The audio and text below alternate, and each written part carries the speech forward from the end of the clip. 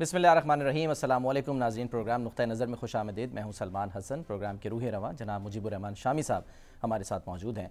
नाजीन हम देख रहे हैं कि सियासी महाज से ज़्यादा जो अदालती महाज है, वो इस वक्त गर्म है और सियासत में जो हैं वो बयान तो सामने आ रहे हैं, इलेक्शन की तैयारियाँ भी हो रही हैं, लेकिन अदालतों से भी बड़े अहम फ़ैसले सामने आ रहे हैं। और ये जो फ़ैसले हैं, इनके क्या असरात मुरतब हो रहे हैं, इस पर भी हम बात करेंगे। कुछ एतराज़ा भी सामने आ रहे हैं, जजिस के एक दूसरे पर ख़त भी लिखे जा रहे हैं, शिकवा, जवाब शिकवा भी हो रहा है, इस पर भी बात करेंगे। लेकिन सबसे पहले ज़रा ये देखें कि सबक वज़ी अजम नवाज़ शरीफ साहब, जो कि एक रोज़ पहले ही तकरीबन तमाम मुकदमात में बरी हो गए, वो जैसे जैसे बरी होते जा रहे हैं, वो अपने मुखालफी के लिए अब बुरे होते जा रहे हैं। तो आज भी उन्होंने जो बयान दिया है, ज़रा सुन लेते हैं कि उनका हिसाब लेने से मुतालिक क्या कहना है आप भी देखिए। तो नवाज़ शरीफ साहब जो हैं वो फरमा रहे हैं शामी साहब के इंतकाम भी यकीन नहीं रखता और पहले भी वो कह चुके हैं कि मैं अपने मामला अल्लाह पे छोड़ के आया था।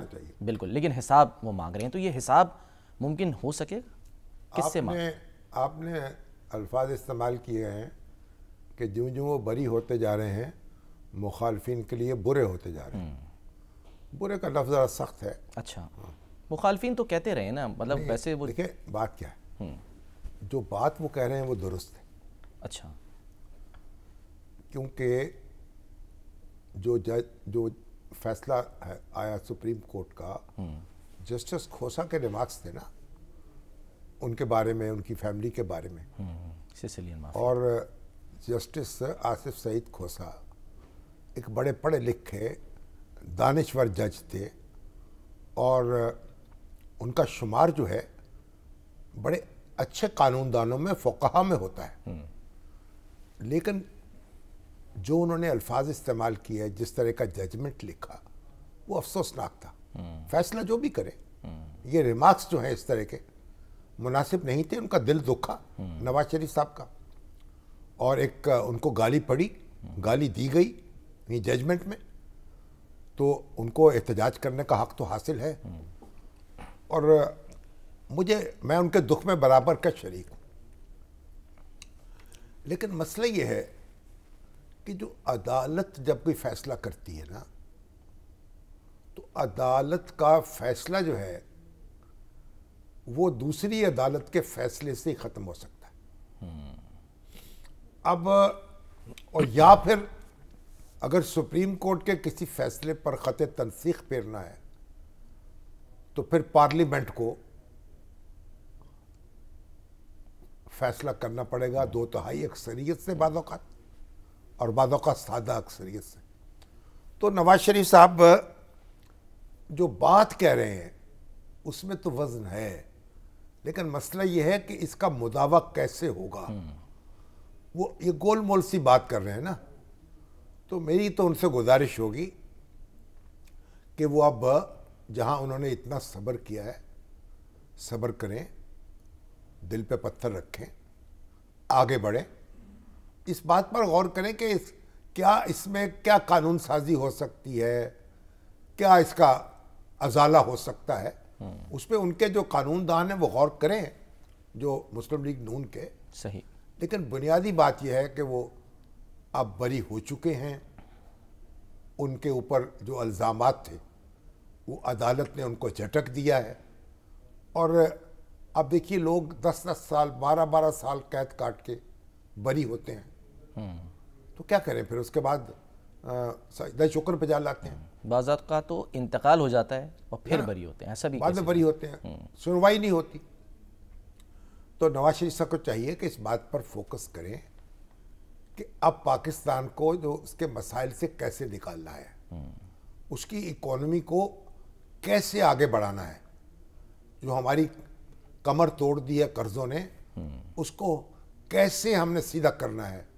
कर्जों से नजात कैसे हासिल करनी है? और यही सनती यही बयानियाँ लेकर वो आए भी थे। सनती और ज़रिए पैदावार में इजाफा कैसे करना है? अपनी एक्सपोर्ट कैसे बढ़ानी है? अपनी आबादी को कैसे कंट्रोल करना है काबू करना है? चौबीस पच्चीस करोड़ का मुल्क होता जा रहा है। हमारे स्कूल जो हैं दो करोड़ बच्चे स्कूल नहीं जा रहे हैं। और जो जा रहे हैं क्या बाढ़ झोंक रहे हैं? हम्म। सरकारी स्कूलों का क्या हाल है? अस्पतालों का क्या हाल है? लोग बाहर जा रहे हैं मुल्क छोड़ के ना? हम्म। वो तो जा रहे हैं तो जा रहे हैं चलिए वो तो चले गए। हम्म। हम सब तो नहीं जा सकते ना। दो चार लाख चले जाएँगे जिनको मौका मिलेगा। चलिए अपने माँ बाप की खिदमत करेंगे। मगर बाकी तो हमें यही रहना है ना। तो मुल्क के जो मसाइल हैं उन पर गौर करके उनका हल तजवीज़ करें। कौम को एतमाद में लें उस तरफ़ तवज्जो करें। ये इस वक्त प्रायोरिटी ये होनी चाहिए। आगे की तरफ़ देखें कौम चाहती है कि मुस्तकबिल अच्छी खबर लेकर आए। और मुस्तकबिल जो है उसके हवाले से कोई सुहाना ख्वाब दिखाए उनको। मकसद आप ये कह रहे हैं कि भूल जाएँ क्योंकि एक और इस वक्त फ़िलहाल फ़िलहाल एक, एक तरफ़ रख दें इन बातों अच्छा। अब जो मौका मिला है उससे फ़ायदा उठाएँ। और एक प्रोग्राम रखें। कहीं ऐसा तो नहीं है, शामी साहब, कि कल हमने देखा कि जो मामला सामने आया भुट्टो कत्ल का जो सदारती रेफरेंस था तो उसमें पेशरफ्त हुई। उसमें हम ये कह सकते हैं कि उम्मीद एक जागी कि हाँ जी, एक सबक वज़ी अजम को अगर उन्हें गलत तरीके से सज़ा सुनाई गई या फांसी दी गई, जो नहीं होनी चाहिए थी तो उसका एक मदावा करने की कोशिश की जा रही है। बिलावल अपने नाना को इंसाफ दिलाने की बात कर रहे हैं। तो कहीं ऐसा तो नहीं है कि उससे थोड़ी हिम्मत पकड़ी है नवाज़ शरीफ साहब ने कि नहीं जी? नवाज़ शरीफ साहब से तो फिर उनको तो बरी हो गए ना उनसे हिम्मत पकड़ी होगी बिलावल भुट्टो ने ये भी तो हो सकता है। अच्छा। अब ये भुट्टो साहब जो है वो तो अल्लाह को प्यारे हो गए। कितने हो गए? पचास साल तो हो गए ना कि नहीं? कमो बेश। हम्म, कम बेश। चार दहाइयों से ज़्यादा हो गए। तो भुट्टो साहब जो है अब उनका मुकदमा के उनका उनको सजा दुरुस्त दी गई नहीं दुरुस्त दी गई। तो अब सुप्रीम कोर्ट में ये मामला जेर समात है। सुप्रीम कोर्ट फैसला करेगी कि उस पर असर नो गौर हो सकता है नहीं हो सकता है। उसमें तो देखे ना बुनियादी बात तो आप समझे। बहरहाल वज़ीर आज़म ज़िंदा हो या अल्लाह को प्यारा हो चुका हो। इंसाफ तो उसके साथ होना चाहिए। हम तो अपने पहले वज़ीर आज़म के साथ भी इंसाफ नहीं कर चुके। लियाकत अली खान। के साथ। उनके जो कातिल हैं उनका सुराग नहीं लगा सके। उनको कैफरे किरदार तक नहीं पहुँचा सके। जो गोली चलाई जिस शख्स ने उसको तो गोली मार दी। मौके पे मौजूद पुलिस अफसर ने। लेकिन उस गोली चलाने वाले के पीछे कौन था? वो तो अभी तक मालूम नहीं हो सका। तो बहरहाल बिलावल भुट्टो जरदारी अपने नाना का मुकदमा लड़े। हैं मगर जो उन पे मुकदमा था ना उसका दूसरा फरीक भी मौजूद है। अहमद रजा कसूरी। उनकी पार्टी के लीडर थे ना पीपल्स पार्टी के। और ज़िंदा है? एमएनए थे उन्होंने एफ़ कटवाई थी एफआईआर। उनके वालिद जो थे वो वो उसमें मारे गए थे शहीद हुए थे और वो बच गए थे। वालिद जो थे वो साथ बैठे थे उनको गोली लग गई। बिल्कुल। उन्होंने तो एफआईआर दर्ज कराई फिर मुकदमा लड़ा। अब वो भी तो सुप्रीम कोर्ट में पहुँचे हैं ना। जी हाँ। उनको भी बुलाया गया था। तो अपना मौकफ बयान करेंगे। बिलावल भुट्टो अपना करेंगे और दूसरे फरीकैन जो हैं फिर देखें जो अदालत फैसला करती है। बिल्कुल। उनको हम अ, कोशिश कर रहे हैं कि हमारे साथ भी आ जाएँ। एक छोटी सी अगर मुझे इजाज़त दें आप शामी साहब कि जब ये मामला हुआ ज़ाहिर है पंजाब के वज़ी अला थे हनीफ रामे साहब तो उन्होंने लाहौर हाईकोर्ट के चीफ जस्टिस के मशवरे से जस्टिस शफ़ी रहमान को नवाब मोहम्मद खान के कत्ल तो के जी वो जो ट्राइब्यूनल था ना उसमें अकील अब्बास जाफरी साहब हैं वो लिखते हैं कि जी अहमद रज़ा कसूरी ने ट्राइब्यूनल में बयान हलफी में तस्लीम किया कि ये ज़रूरी नहीं कि हमला वज़ी अजम के साथ उनकी दुश्मनी के नतीजे में हुआ हो। फिर उसके बाद वो वापस भी शामिल हो गए थे पीपल्स पार्टी में। और उनकी तो वालदा ने भी ये कहा था कि नहीं जी भुट्टो जो हैं वो ज़बरदस्त वज़ी अजम उनकी तारीफ़ों की पुल बांधे। शफीर रहमान ट्रिब्यूनल की जो रिपोर्ट है अब ये मौजूद है नहीं मौजूद है। उसके बाद असल में तो होना चाहिए था ये मुकदमा जो था भुट्टो साहब के दौर में ही इसका फैसला हो जाता जाना चाहिए। अदालत में मुकदमा चलता ऐसा नहीं हो सका। और अहमद कसूरी वो ये भी कह सकते हैं भाई मैं अपनी जान बचाने के लिए तो क्योंकि मुझे मैं मैं भी निशाना बन सकता था। तो मैंने पनाह लेने की कोशिश की पीपल्स पार्टी के अंदर। तो ये तो अपना अपने दलाइल हैं जैसे दुर्राब पटेल ने भी इस बात का ज़िक्र किया है अच्छा। कि भाई वो उन्होंने फिर पीपल्स पार्टी में शामिल होने की कोशिश क्यों की? अगर भुट्टो साहब जो थे वही उनके कातिल थे। तो बहरहाल ये तो अब मामला अदालत में अहमद कसूरी साहब हैं हमारे साथ? अब वो हमको उनको ट्राई कर रहे हैं लेकिन वो नंबर शायद मेरे ख्याल काट रहे हैं। तो हो अच्छा। सकता है कि कहीं मसरूफियत तो हमने। कहा तो था उन्होंने कि हमारे साथ होंगे लेकिन वो गालिबा मसरूफ़ हैं। चलिए। आगे बढ़ें हम शामी साहब और तो ज़रा वो भी उनको भी मौका मिलेगा वो भी अपने ज़ाहिर है। हम्म। देंगे और दूसरे भी द- दलाइल देंगे। फिर सुप्रीम कोर्ट जो भी मावनीन जो मुकर किए वो इसीलिए किए गए ना। वो तो आज तो सुप्रीम कोर्ट ने आ, वो मुअत्तल कर दिया हाँ। जी जो अब जो बिल्कुल एग्जैक्टली पाँच रुकनी बेंच का था उसको जिसमें- कर दिया। जिसमें जो सिविलियंस के मुकदमे फौजी अदालत में। चलाने को रोक दिया गया था। और मगर साथ ही ये किया गया था कि जो आर्मी एक्ट है उसकी दफ़ा दो जो है उसको भी सस्पेंड कर दिया गया था। तो ये तो उन्नीस का कानून था। बिल्कुल। तो उससे फिर एक काफ़ी बेइतमानी पैदा हुई कि अगर ये आर्मी एक्ट जो है उसकी भी दफ़ा खत्म कर दी जाए तो फिर जो दहशत गर्द हैं और जो जासूस हैं उनके मुकदमे भी नहीं चल सकेंगे अदालत लवाकिन ने भी आके प्रेस कॉन्फ्रेंस की थी। हाँ प्रेस कॉन्फ्रेंसें की दरखास्तें दी। तो बहरहाल आज उन्होंने छह रुकनी बेंच था। उसने ये कहा कि आप ट्रायल तो जारी रख सकते हैं। हतमी लेकिन फैसला जो है फैसला ना करें इस मामले में। अब बड़ी दिलचस्प बात यह है कि वजारत दफ़ा की तरफ़ से ख्वाजा हारिस पेश हुए अब ख्वाजा हारिस जो हैं वो पहले नवाज़ शरीफ साहब के वकील थे बिल्कुल। हम्म, फिर कई मुकदमात जो थे। उनमें इमरान खान साहब के वकील थे। और अब वो वजारत दिफा के वकील हैं। पहले दो यानी सबक वज़र आज़म है उनका दिफा कर रहे मुखालिफ। अब वजारत दिफा का कर रहे हैं। तो उनका कहना ये था कि ये ट्रायल जो है ना रोके जाएँ और इस जो पैराना हुक्म है उसको मुअत्तल कर दिया जाए। तो बहरहाल अटॉर्नी जनरल ने कहा कि नहीं इसमें शामी साहब फैसला अहमद रजा कसूरी साहब हमारे साथ लाइन पर मौजूद हैं। कसूरी साहब सलाम आपका आवाज़ आ रही है? जी आ रही है। अच्छा आप ये बताइए कि आप आपको भी तो अदालत ने कल बुलाया होगा ना क्योंकि आप तो मुद्दा ही हैं उस मुकदमे के। आपने क्या कहा वहाँ? मैंने कोई अस्सी सफ़ों का एक रिजॉइंडर मैंने फ़ाइल किया हुआ है। ठीक। उस रेफरेंस के बारे तो में। मैंने अपनी जो है दलाइल मैंने देने हैं तो कल तो मैं सिर्फ़ मेरी सिर्फ़ हाजिर थी लेकिन मैंने टेका इशू ये किया है कि एक मेरी आवाज़ आ रही है? हाँ जी आ रही जी, है। जी। आ रही है। मैंने जो टेकअप इशू किया वो ये है कि सुप्रीम कोर्ट की चार जुरिस्डिक्शन है।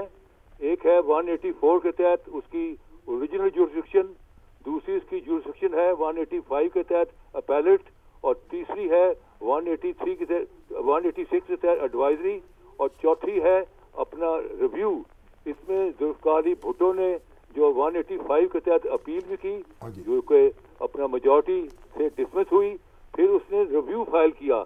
और रिव्यू फ़ाइल किया वो यूनानिमसली डिसमिस हो गया। वो जजेस जिन्होंने भुट्टो को बरी जुर्मा डिक्लेयर किया था अपील के अंदर उन्होंने भी रिव्यू में क्या कि रिव्यू में कोई सुकम नहीं है फैसले में कोई सुकम नहीं है। तो review was unanimously dismissed so therefore एक मामला जो कि सुप्रीम कोर्ट ने अपेलेट जुरिस्डिक्शन और रिव्यू जुरिस्डिक्शन में डिसमिस कर दिया गया हो वो कैसे अपना एडवाइज अपना जो है। वो एडवाइजरी जुरिस्डिक्शन में ओपन हो सकता है। असल में बात ये है कि ये जो फ़ाइल किया जिस जिसने वो है ज- जरदारी जो कि प्रेसिडेंट था और वो जो है जो मुलजम है जो कॉन्विक्ट है कॉन्विक्ट का दामाद है उसने ये फ़ाइल किया और उसका बु- बुनियादी मकसद ये है कि वो उन पर जो इल्ज़ाम है स्टिग्मा है जो उन पर एक पू- पूरा छ- छ- लग गई छाप के वो कातिल था उसको मिटाने के लिए ये फ़ाइल किया गया है और जब मैंने कोर्ट को कहा कि यहाँ तो रिक्वायरमेंट है एडमिसिबिलिटी की तो आपने पहले देखना है कि आप कॉम्पिटेंट भी हैं इसको सुनने के के- या नहीं और जब तक वो पहला मरला जो एडमिसिबिलिटी का है वो जब तक उसका फैसला नहीं हो जाता तो ये सुना नहीं जा सकता तो चीज़ ये है कि जो एडवाइजरी जुरिस्डिक्शन है वो है करंट इश्यू की ये तो ब- एक गड़ा हुआ मुर्दा है करंट इश्यू की और करंट इश्यू में भी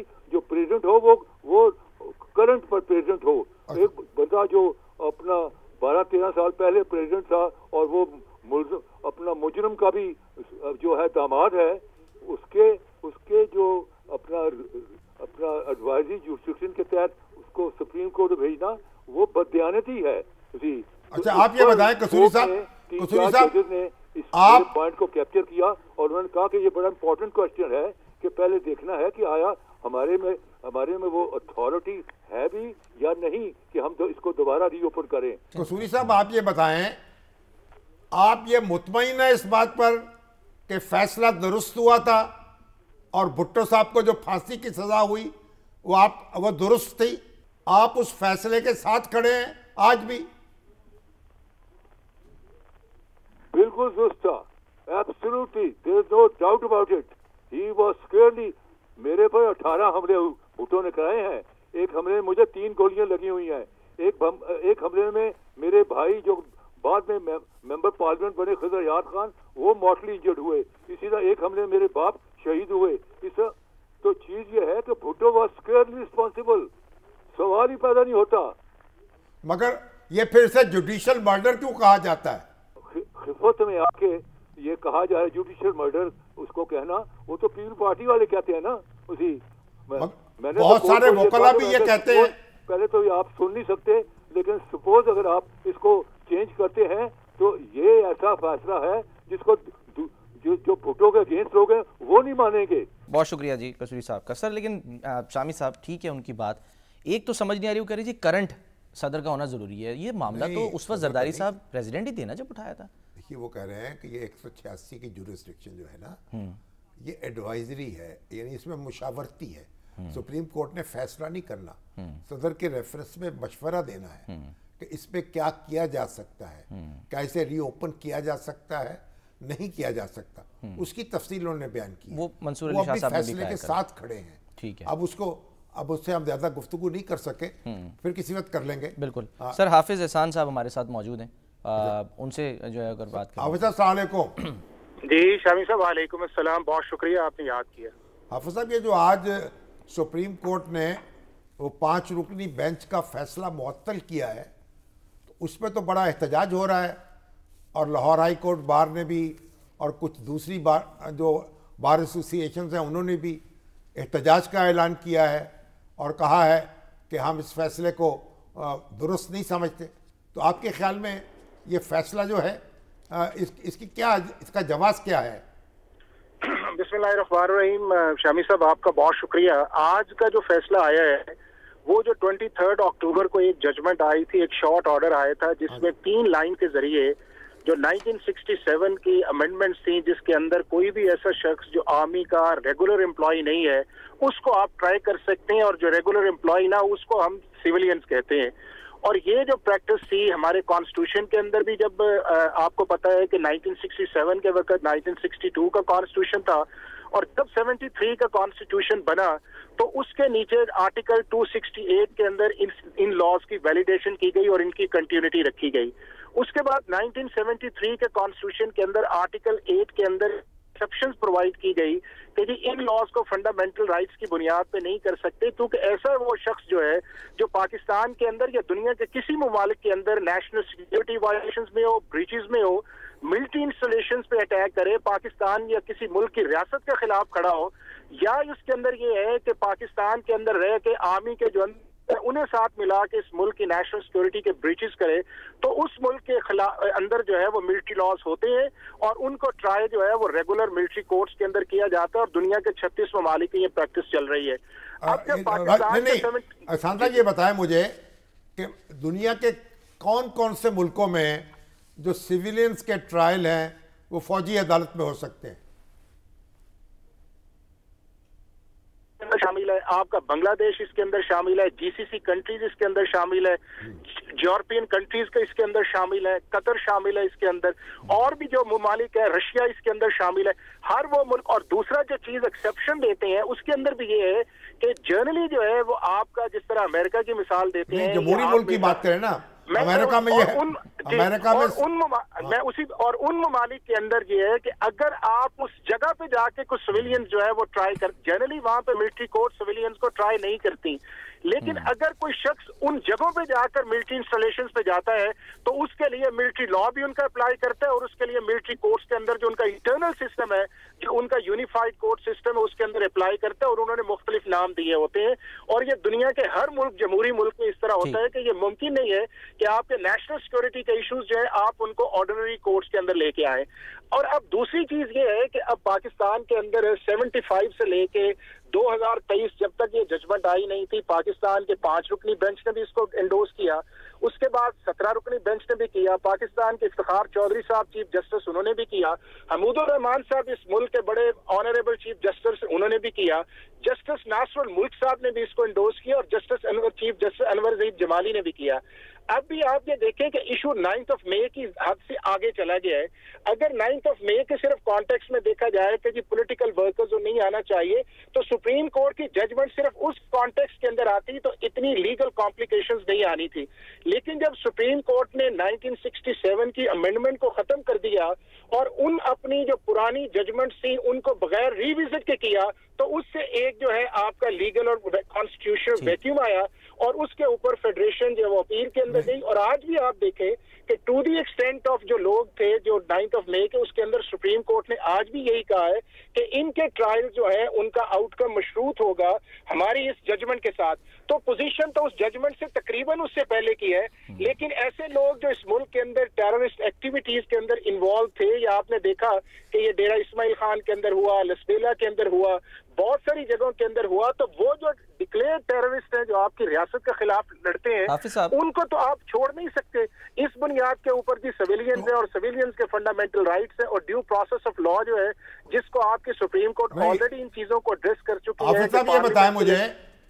ये बताएँ कि फिर ये जो बार एसोसिएशन क्यों एहतजाज कर रही हैं? वो कहती है ये फंडामेंटल राइट का मसला है। देखिए मैं आपको चीज़ एक बताऊँ। मैं आप या कोई भी बंदा ऐसा हो उसको सुप्रीम कोर्ट का कोई भी जजमेंट आए, उसको ऑनर करना चाहिए और एक लिमिट की हद तक जो है उन्हें क्रिटिसाइज करना चाहिए। अगर supreme court of Pakistan ultimate authority है किसी कॉन्स्टिट्यूशन को इंटरप्रेट करने की, अगर हम उसके ऊपर ही ट्रस्ट छोड़ दें, अब आप पिछले चंद दिनों के अंदर देख लें जो जजमेंट्स आई हैं, कोई एक शामी साहब ऐसी जजमेंट आई है जिसका इस पूरे मुल्क पर इतफाक हो? आप देख ले, कासिम सूरी की जजमेंट आई तो सुप्रीम कोर्ट को कहा गया जुरिस्डिक्शन नहीं है। पंजाब के अंदर मियाँ शबाज शरीफ साहब की गवर्नमेंट आई, कहा इतराज नहीं है। आर्टिकल 63 ए पे जजमेंट आई, कहा कि डिफेक्शन क्लॉज हो नहीं सकती है।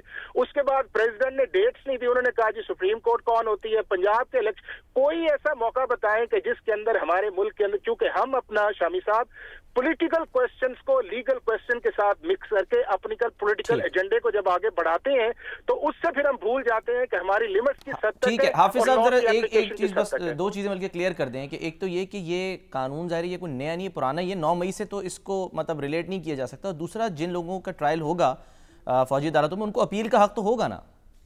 देखें उन्हें तीन फोरम्स अवेलेबल हैं।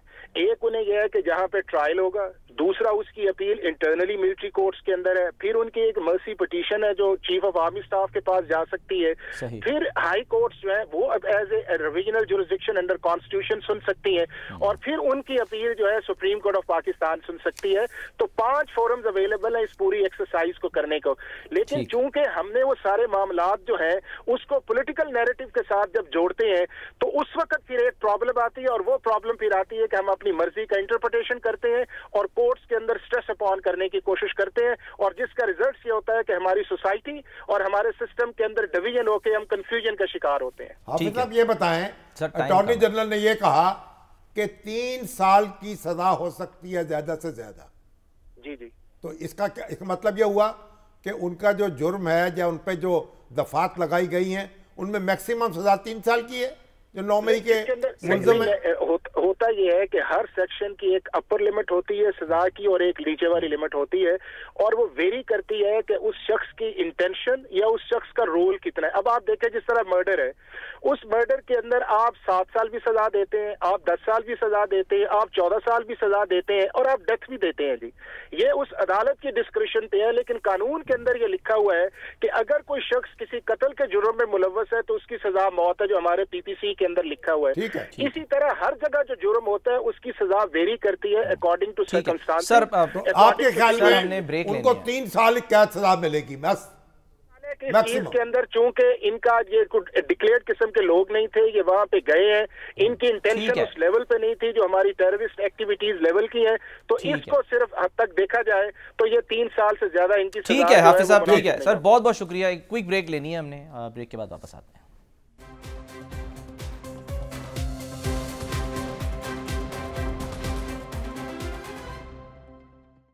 वेलकम बैक नाजरीन। कुछ मौजूद पे बात करनी है। कोशिश करेंगे कि शामी साहब से क्विकली इस पर जो है वो कमेंट ज़रूर लें। शामी साहब एक तो इशू है जस्टिस काजी फ़ायज़ ईसा साहब ने ख़त लिखा जवाबी ख़त है बेसिकली जस्टिस एजाजुल हसन को उन्होंने कुछ एतराज़ा किए थे कि जी बेंचेस की तश्कील में मुशावरत नहीं की जा रही। दिलचस्प बात यह है कि ये वो एतराज़ा हैं जो ख़ुद चीफ़ जस्टिस साहब जो हैं वो किया करते थे जब वो चीफ़ जस्टिस नहीं थे।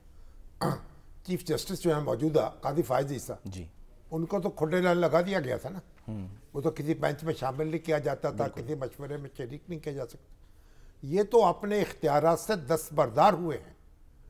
इन्होंने वो जो कानून बना था प्रोसीजर हम्म। क्या कहते हैं उसको? प्रैक्टिस एंड प्रोसीजर हाँ जी। हम्म। उसको उन्होंने एंडोर्स किया है।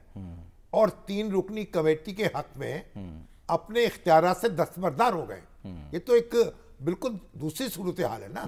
तो अब उन जस्टिस एजाजुल हसन साहब ने खत लिखा है। उन्होंने उसका जवाब दे दिया है। बिल्कुल। अब मसला ये है जस्टिस एजाजुल हसन साहब को बड़े माशाल्लाह जहीन फ़की हैं कानूनदान हैं। ये जो कमेटी फैसला करेगी ना जब तीन रुकनी तो इसको कंसेंसस से फैसला नहीं करना। दो एक से भी फैसला कर सकती है। एक बात। दूसरी बात यह है चलिए काजी साहब ने तो जवाब दे दिया वो तो ओपन है। सही। कहते मेरे जब आए मुझसे मिल लीजिए।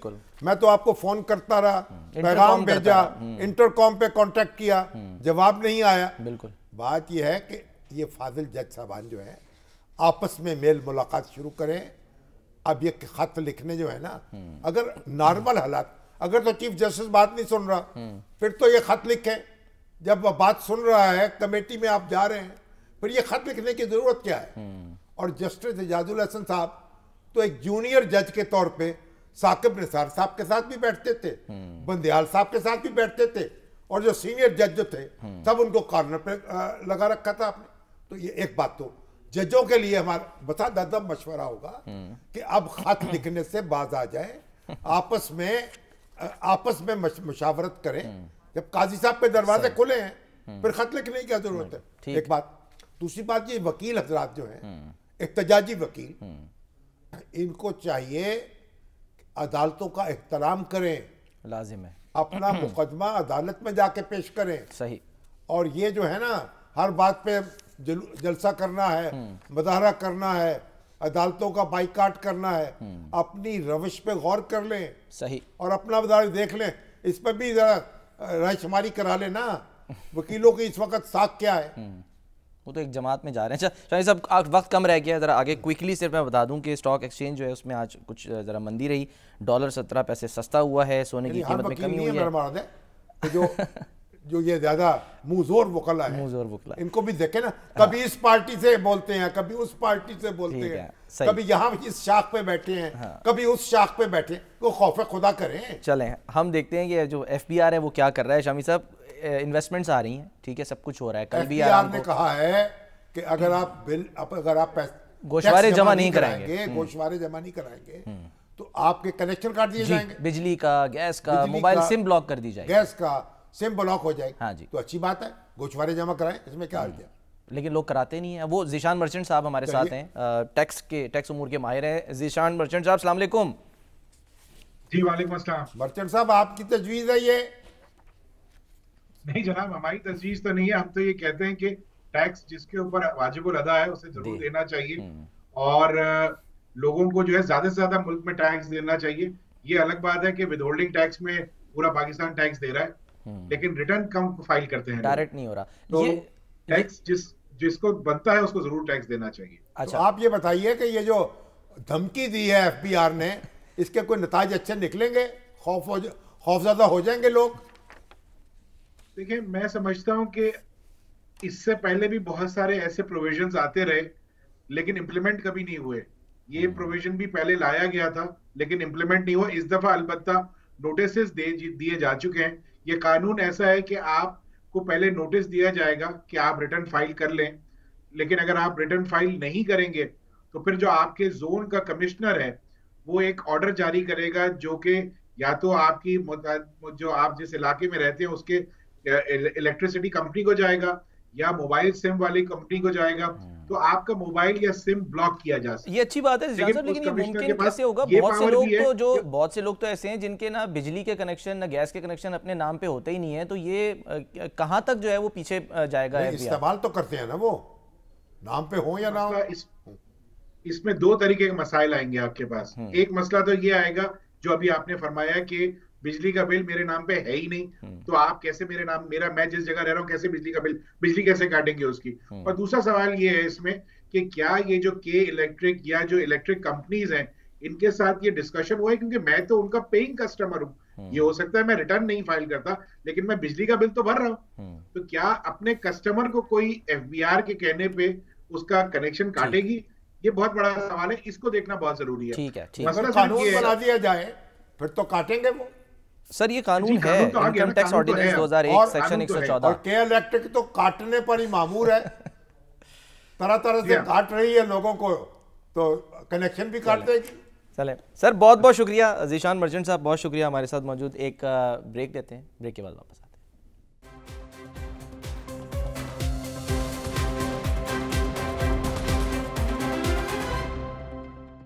नाजिन प्रोग्राम से अब तक के लिए इतना ही। अपना बहुत ख्याल रखिए। कल मुलाकात होगी। अल्लाह हाफिज़।